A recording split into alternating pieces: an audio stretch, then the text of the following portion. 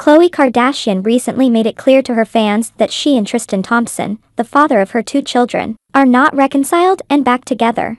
This proclamation comes in response to recent public sightings that had raised eyebrows among some fans. A lot of recent buzz revolved around Khloe and Tristan, particularly when Kim Kardashian attended a weekend game between the LA Lakers and Golden State Warriors. It's worth mentioning that Kim and North West brought a handmade sign to cheer on Tristan during the match. In addition Khloe was spotted with Tristan at a McDonald's drive-through just last month, leading to speculation and further interest from fans. Contrary to what some people might believe based on these public sightings, Khloe Kardashian has made it clear that fans are creating a false narrative. She addressed this matter after a fan page reposted an Instagram story. In response to a question about Kim Kardashian cheering Tristan Thompson on, the anonymous T page suggested that Tristan and Khloe were allegedly back together. Speculation arose that perhaps Kim was subtly introducing the idea to prepare everyone so that Khloe wouldn't face any difficulties or criticism. When the fan page reshared this hypothesis,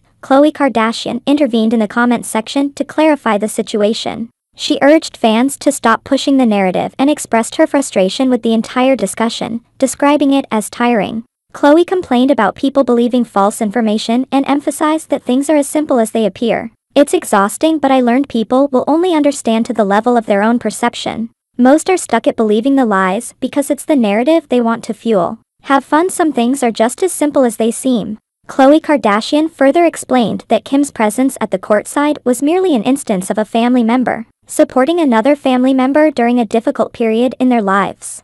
She highlighted that she extends similar support to Kourtney Kardashian's ex-partner Scott Disick. Khloe emphasized the importance of family unity and backing each other up during challenging times. I support Scott and will forever support him. He's my brother. It's just not on an NBA stage. What are your thoughts like share and subscribe and thanks for watching.